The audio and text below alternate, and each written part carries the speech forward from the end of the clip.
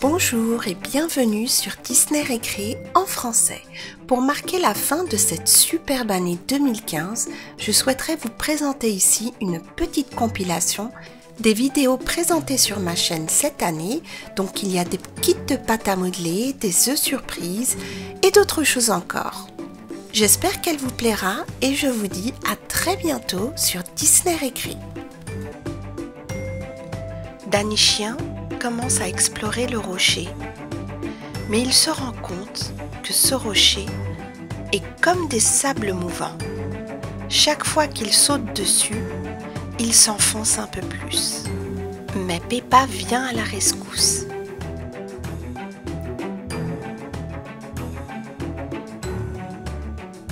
Ils continuent leur exploration et se rendent compte qu'il y a quelqu'un derrière le rocher. Danny Chien décide d'en avoir le cœur net et détruit le rocher petit à petit jusqu'à découvrir une espèce d'énergumène qui a l'air sympathique. Il se présente comme étant Barbouille et leur demande ce qu'ils sont venus faire ici sur sa planète. Peppa et Danny Chien se présentent également. Tout d'un coup, Barbouille se tourne sur le côté et a l'air de parler à quelqu'un d'autre. Peppa termine de détruire le rocher pour découvrir le deuxième énergumène de couleur rouge qui ressemble à un petit diable. Et lui, c'est Barbidure. Barbouille et Barbidure demandent à Peppa et à Danichien s'ils voudraient jouer avec eux avec ce sable magique et sans attendre leur réponse, Barbouille se jette sur Danichien et le pousse dans le sable. Danichien est un petit peu effrayé et s'éloigne du rocher. C'est alors que Barbidure en fait autant, mais Peppa ne se laisse pas faire et elle le traîne avec elle en dehors du rocher.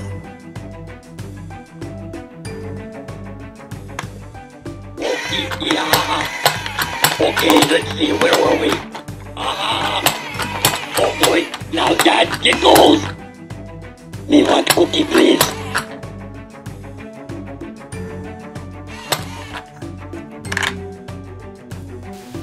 Il est temps maintenant de donner sa soupe à Macaron le gros glouton.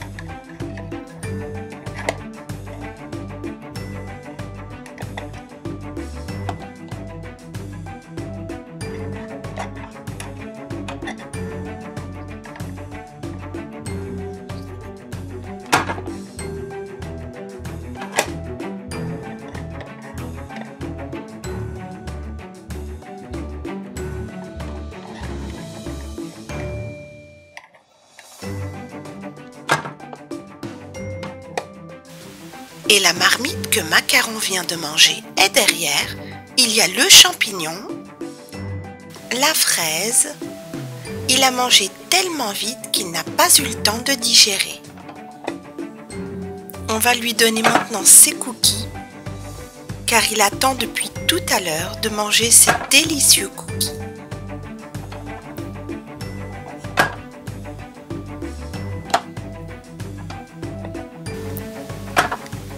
En un rien de temps.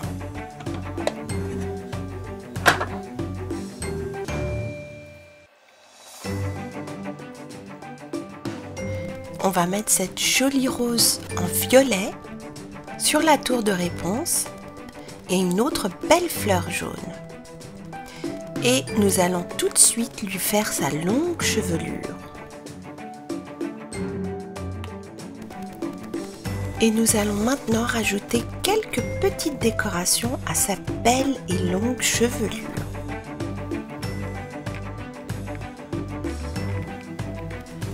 Et voilà ce que ça donne, une magnifique chevelure bien fleurie. Nous allons aussi rajouter des petites décorations sur le toit de la tour.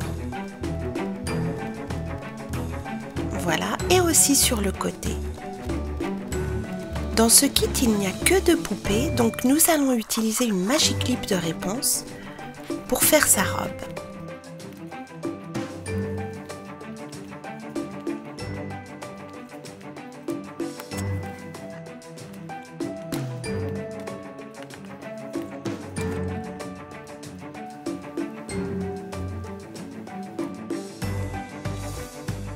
Et voilà, la jolie robe de réponse est presque prête. On va lui rajouter sa petite couronne. Et voilà, réponse à elle aussi sa robe. Et maintenant, on va utiliser ces petits moulages pour les décorer avec de la pâte à modeler rose et bleue.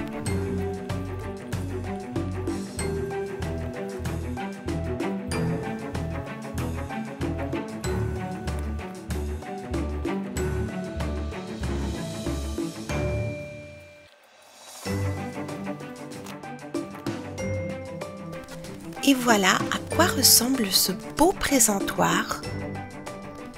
Magnifique fleur à deux couleurs. Construire notre mur.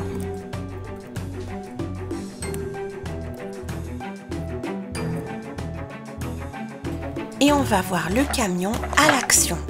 Et voilà. En un coup de boule, il a fait tomber le mur. Et maintenant, c'est au tour de Martin. Il a besoin d'un peu d'aide À eux deux, ils font une super équipe de camions de démolition. C'est maintenant au tour de Flash McQueen qui a un peu de mal, mais Martin vient à la rescousse. Et voilà, le mur est complètement démoli.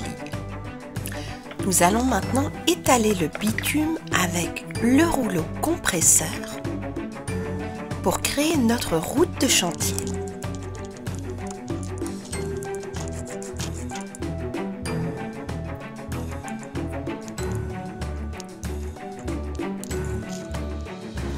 Et voilà ce que ça donne.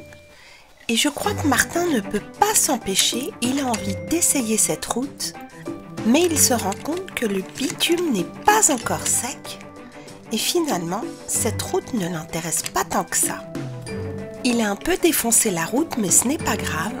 On repasse un peu de rouleau compresseur, on enlève les petits bouts, voilà, et on repasse encore et là, on a une route presque parfaite.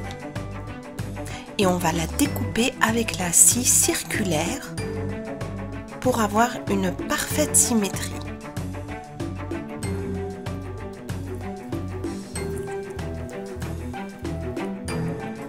Et voilà, nous avons une nouvelle route bien goudronnée.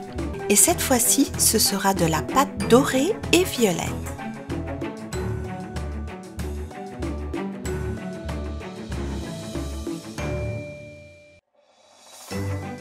Nous allons utiliser cette magnifique couleur et on va faire des traits comme ça pour les plis de sa robe.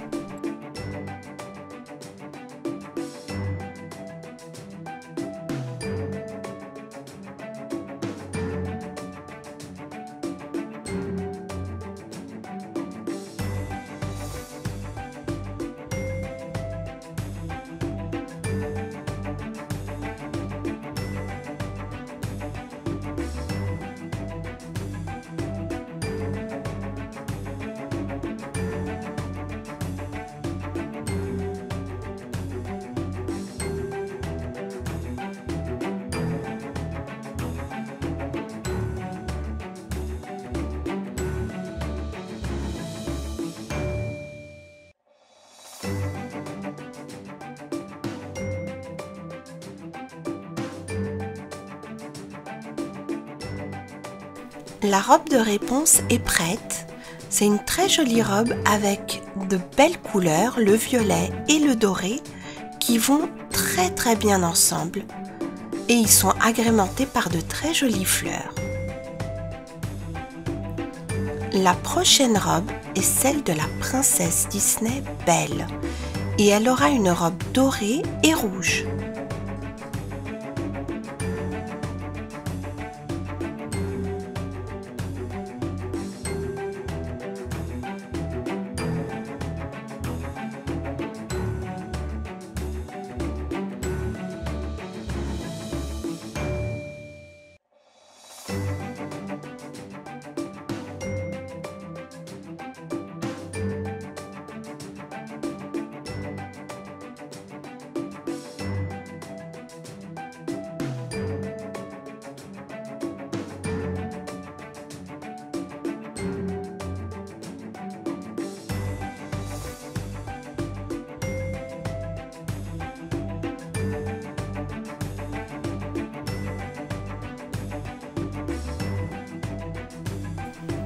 Voilà, la jolie robe de Belle est prête. Elle a de jolis motifs qui viennent du kit de Cendrillon. Une très belle fleur à la taille. Voyons voir ce qu'il y a à l'intérieur de l'incroyable Hulk. Je n'entends rien, tiens, c'est bizarre, mais il y a un sachet ici. Et on va voir ce qu'il y a dans ce sachet noir.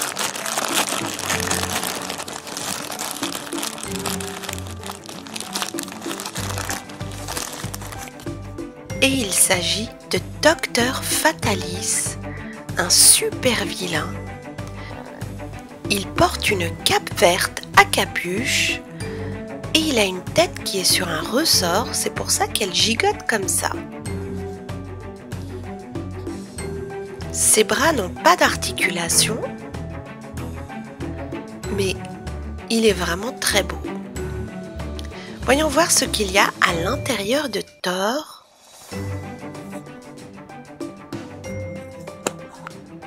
Il y a également un sachet noir.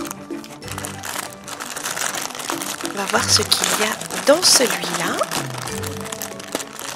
Et il s'agit de la sorcière rouge avec son beau costume de couleur rouge. Elle aussi a une tête sur un ressort. Elle a de beaux yeux bleus et une belle chevelure noire.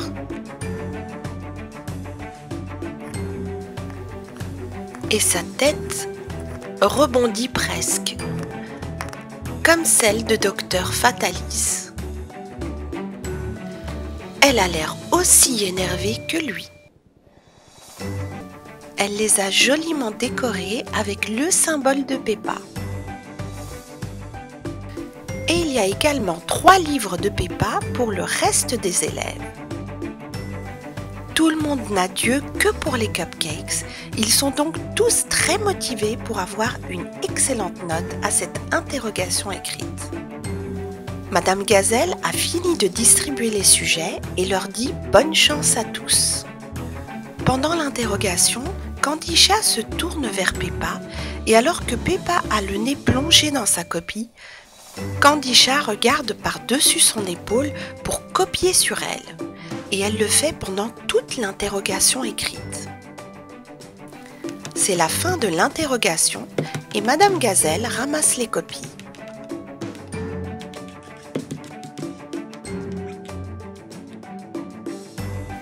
Elle a fini de les corriger et va maintenant annoncer les résultats c'est Peppa qui a eu la meilleure note avec un 10 sur 10.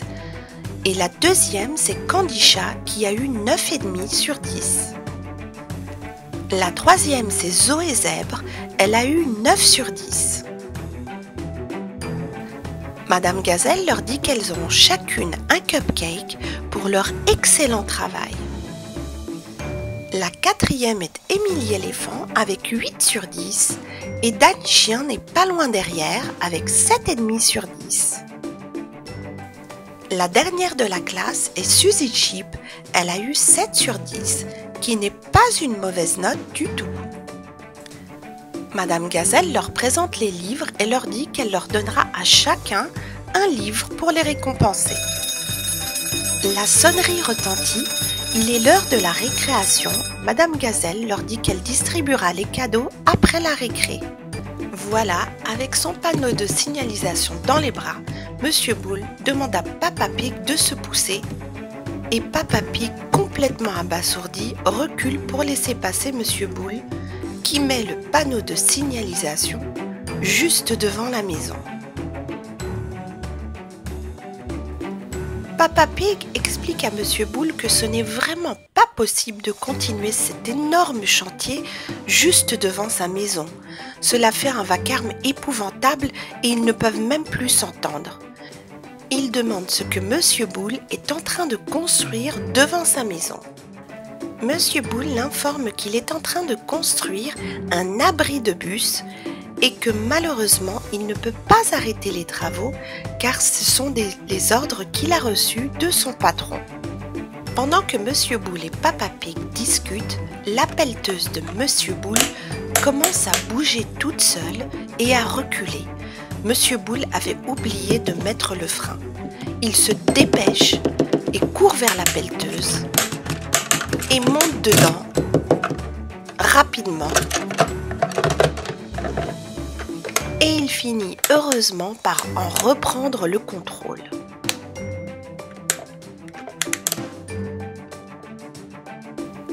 Il a vraiment eu chaud car il a failli causer d'énormes dégâts dans la route. Ça lui apprendra la prochaine fois à discuter au lieu d'avoir les yeux sur sa pelleteuse.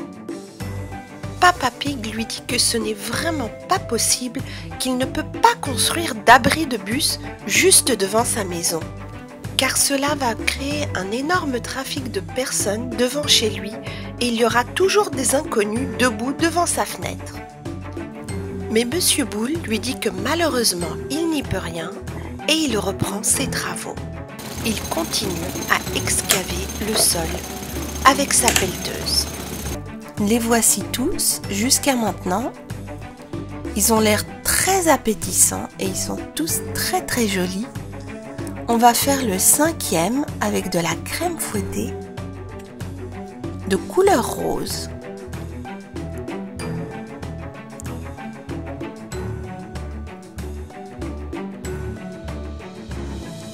Et maintenant, on va rajouter de jolies décorations avec ces petites fleurs rouges et jaunes.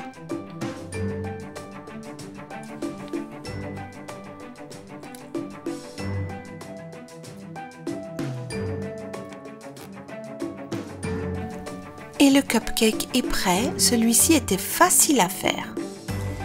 Nous allons maintenant faire le sixième et celui-ci sera en forme de cœur.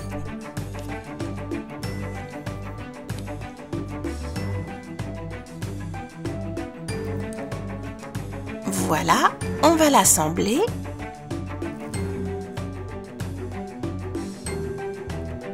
C'est un parfait cupcake et maintenant on va rajouter de jolies décorations.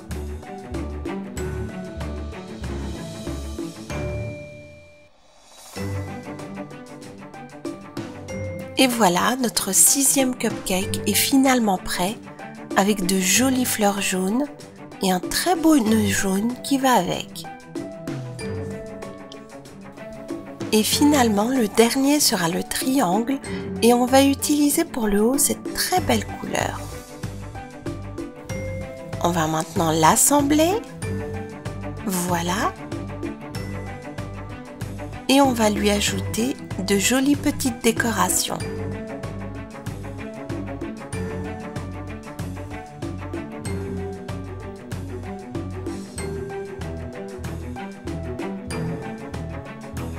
Et notre dernier cupcake de Hello Kitty est prêt lui aussi.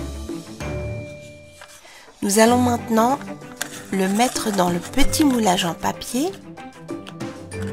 Et si vous voulez les présenter comme ça, c'est tout à fait possible. Chupa Chups de Minnie Mouse. Et voici son étiquette. On va tout de suite l'ouvrir.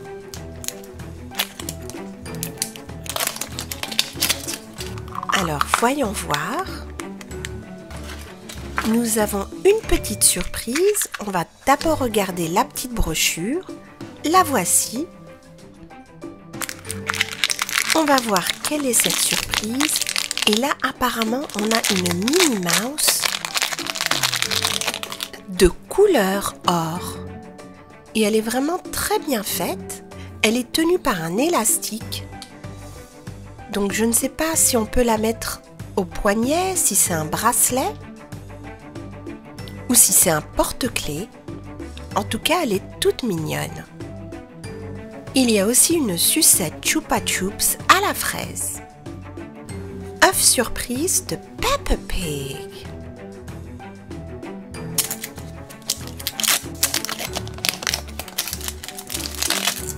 Alors voyons voir ce qu'il y a je vois des bonbons.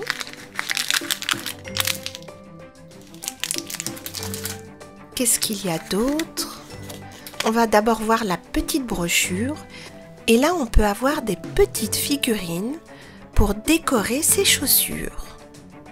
Voyons voir celle que nous avons. Est-ce que vous pouvez deviner de qui il s'agit? Et c'est Papa Pig. L'aviez-vous deviné? Je pense qu'il était facilement reconnaissable. Œuf surprise de Toy Story. C'est une plage magnifique avec une eau bleu turquoise. Ils sont tous bien installés et chacun vaque à ses occupations. Papa Pig est en train de préparer le barbecue. Maman Pig fait une petite séance de bronzage. Et Peppa et George sont prêts pour une petite baignade dans l'eau. D'ailleurs, George a amené sa bouée de sauvetage et il se dépêche d'aller dans l'eau. Et Peppa le suit. L'eau est limpide et très très bonne. Peppa et George ne veulent plus en sortir. Mais ils reviennent quand même sur la plage pour faire un petit château de sable.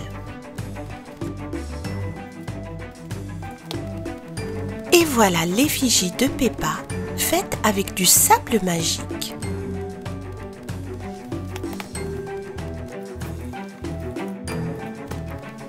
Et voici celle de Georges. Et le petit château de Peppa improvisé est prêt. Peppa et Georges sont prêts à passer à table. D'ailleurs, tout le monde est prêt quand tout à coup, qui arrive là? Sur une petite voiture de plage, Papy Pig, en chemise de vacances, lui aussi, faisait un petit tour sur cette plage. Il dit bonjour à tout le monde, mais ce qui l'intéresse, c'est le barbecue. Et il félicite Papa Pig en lui disant qu'il sent très bon. Maman Pig l'invite à rester déjeuner avec eux. Il dit qu'il ne veut pas déranger, mais Papa Pig insiste en lui disant qu'il y en a pour tout le monde. Et Peppa et George lui disent aussi de rester. Papa Pig ne se fait pas prier et il accepte de rester déjeuner avec la famille. Comme ça, pour faire sortir le lait. Voilà, ça commence à sortir. Et voilà ce que ça donne. Et on va le verser dans la tasse. Ça vous intéresserait de boire de ce lait? En tout cas, la Reine des Neiges, ça ne lui pose aucun problème. Elle en veut bien. Par contre, réponse, ça ne l'intéresse pas trop de boire de ce lait. Nous allons faire aujourd'hui du chocolat liégeois et on va mettre un peu de pâte comme ça dans la théière afin de pouvoir verser notre chocolat.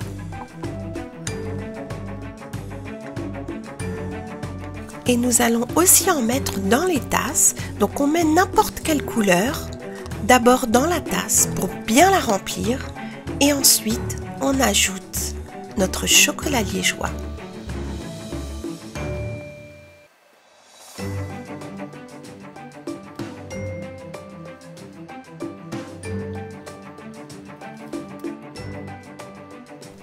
Et voilà, notre première tasse de chocolat est prête.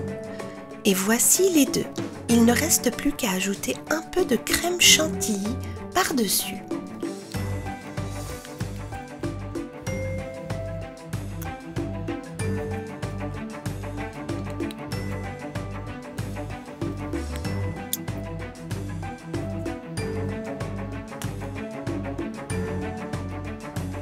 Nos deux tasses sont prêtes. On va leur mettre des petites cuillères et on appuie bien fort.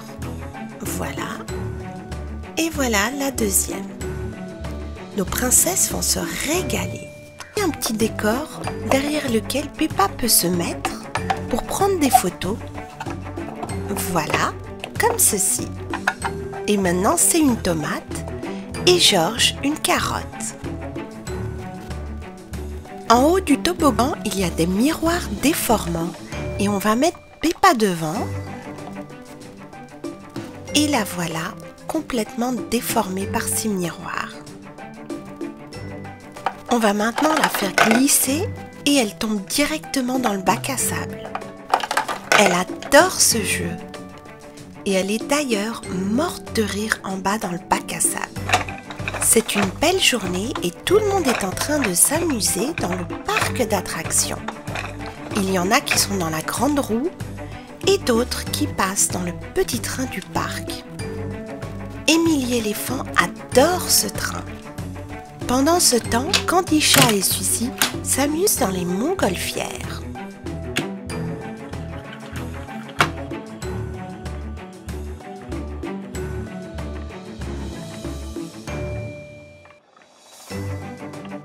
Bref, tout le monde passe une excellente journée. Maman Pig et Papa Pig voudraient bien d'une bonne glace rafraîchissante.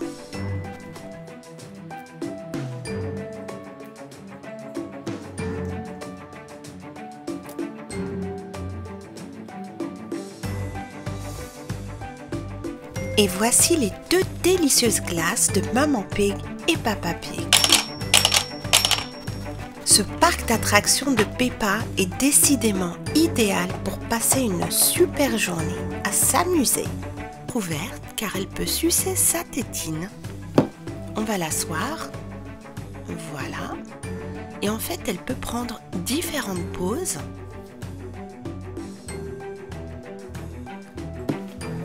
Et on peut même l'allonger comme ça sur le côté. On va maintenant la mettre à plat ventre. Alors, on va essayer de lui faire lever la tête. Mais là, je ne sais pas comment la faire tenir.